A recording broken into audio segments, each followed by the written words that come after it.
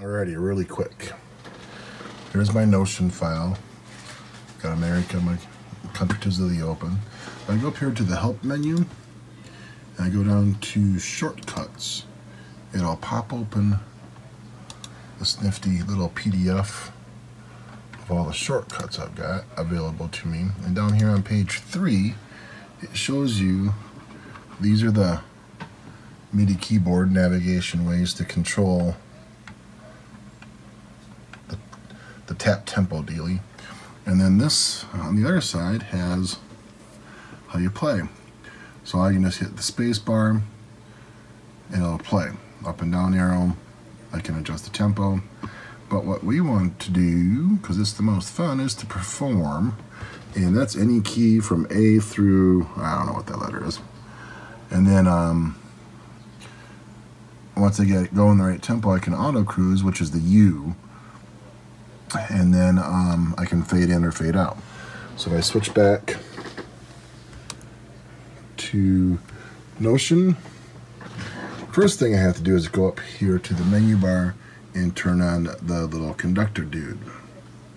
So now once that's turned on, then you can see I've got my navigations up here, my little heads up display.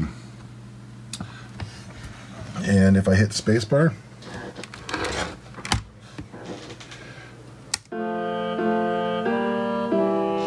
and if I want to go faster, I can just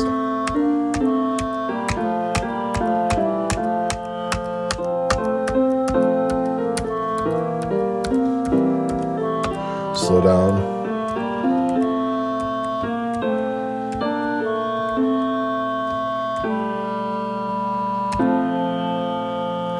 Spacebar. And if I want to go back to the beginning, I can hit the backspace twice, and it goes back to the beginning. And again, if I want to um,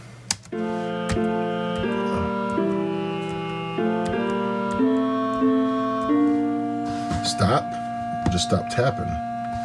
Start tapping again. I like that tempo. You hit the U button and it keeps going. If I want to fade out, I can I think hit X. Nope, not X. Go back to my fade in is X, fade out is Z. All right, let's go back. Let's go back to the beginning. Let's start the sucker. A little bit too slow.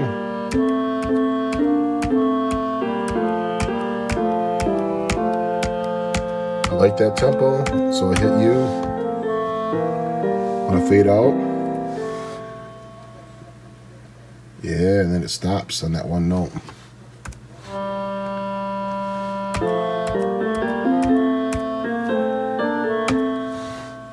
It hits the note and then stops and fades. There you go.